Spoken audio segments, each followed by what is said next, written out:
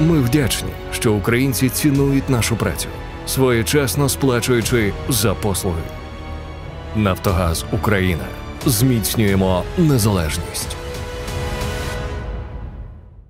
Отже, під час удару по штабу Чорноморського флоту у Севастополі було ліквідовано командувача Чорноморського флоту РФ. Це сьогодні підтвердили у силах спеціальних операцій. І з цього розпочнемо розмову із речником військово-морських сил збройних сил України Дмитром Плетенчуком.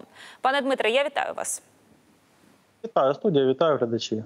А що означає для флоту така раптова втрата командувача, і як це може вплинути на його діяльність? Раптова вона для них, не для нас.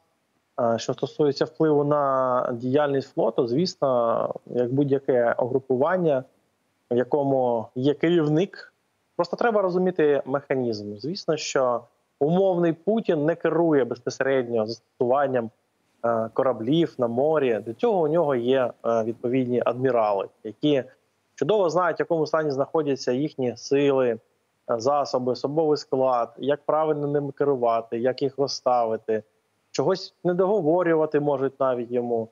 І в цей момент вони втрачають людину, яка всім цим процесом по факту керує, і разом з ним е, його штат, який так само керує флотом, тому що треба розуміти, що це досить велике групування. Відповідно, там е, потрібна е, така кількість менеджерів, умовно кажучи, середнього звіна, які е, всіми цими процесами будуть опікуватися і керувати, так щоб вони працювали як єдиний механізм. І уявіть собі, що зараз е, е, частина цього механізму головна просто стає непрацездатною. Так, сьогодні вони вночі ще наносили по інерції удари, але як я вже неодноразово сьогодні казав, це нагадує ту саму курку, яка бігає без голови. Вона бігає, щось ще робить, але е, вже вона мертва. Тому станом на зараз, звісно, вони будуть мати відповідні проблеми з керованістю військами. Але ж за протоколами ну точно є заступники, є люди, які дублюють функції, вони не можуть знаходитися в одному місці. В Росії це так працює? Насправді це ми дізнаємося згодом. Хто там саме був присутній? Чи все командування, чи ні. Але е, зазвичай верхівка, звісно, е, працює разом. Це як мінімум начальник штабу, хтось заступників. Звісно, в армії такої ситуації не буває, що немає командира. Це як і у нас, так і у них працює.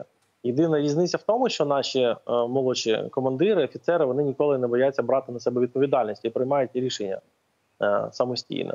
Цього не можу сказати про наших ворогів. Там досить така е, міцна централізація щодо е, вирішення так ухвалення рішень, вирішення питань. Тому для них це буде більшою проблемою, звісно.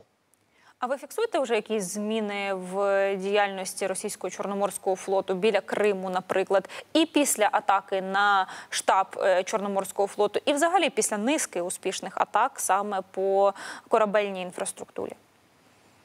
Насправді вони вже були достатньо Е, стиснуті в цьому сенсі. Е, у них був був дуже обмежений маневр, і до цього, е, як ви бачите, застосовують вони здебільшого лише ті кораблі, які є носіями далекобійної зброї, керованих ракет, і відповідно застосовується менше 10 в бойовому порядку одиниць.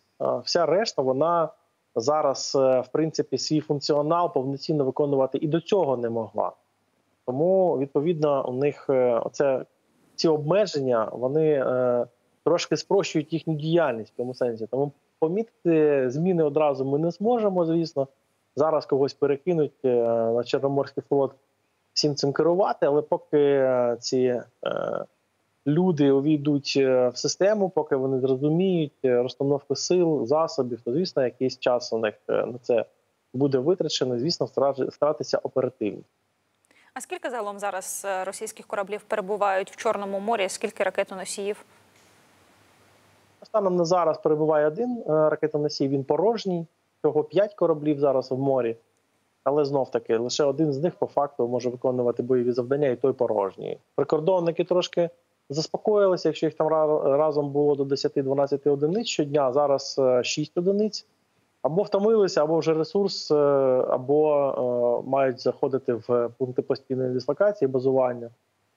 для поповнення запасів. Але вже кілька днів ми спостерігаємо зменшення активності саме морської охорони прикордонників, які були найбільш активними в принципі в Азово-Чорноморському регіоні.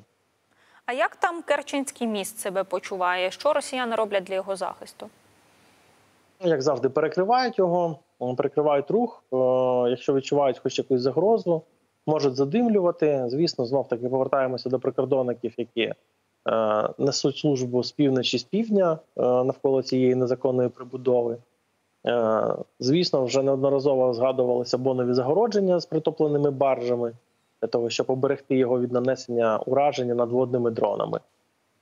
Тому, в принципі, там все перебуває так би мовити, штатному режимі, але всі ми чудово знаємо, що все це тимчасово. І Збройні сили України це доводять регулярно. Дякую дуже, що сьогодні були з нами. Це був Дмитро Плетенчук, речник військово-морських сил Збройних сил України.